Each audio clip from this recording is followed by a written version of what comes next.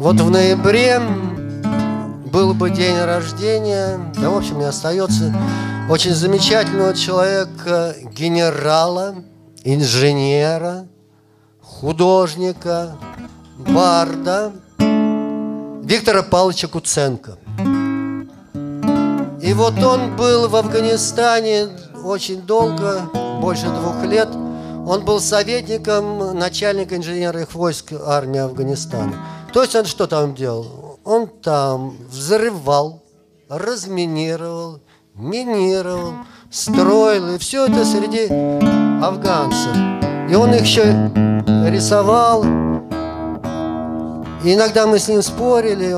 И он, в общем-то, говорил, что в каком-то смысле афганский солдат, если к нему правильно подойти, он ничуть не хуже там славянского русского солдата.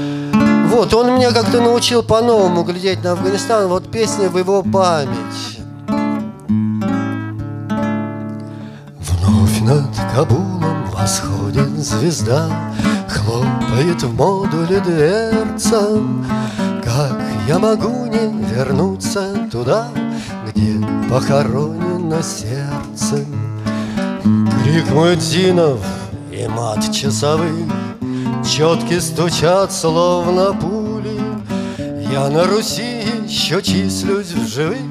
Сердце осталось в Кабуле. Бур-бурхай, шурави, иншалла Девушка мне говорила Два наших сердца навек приняла. В Даруль-Амане могила. Пусть над Кабулом с горы Асмаи В небо полеты наверцы Вы победили, родные мои. Я схоронил свое сердце. Вновь над Кабулом восходит звезда. Хлопает в модуле дверца. Как я могу не вернуться туда Где похоронено сердце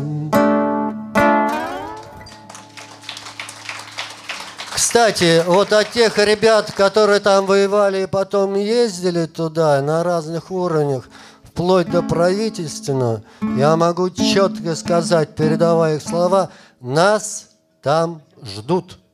Причем ждут даже те, кто против нас воевали, потому что американцы им очень не понравились. А нас они вспоминают, извините, с любовью. И нам туда опять придется. Ну, не нам, нашим сыновьям, но придется.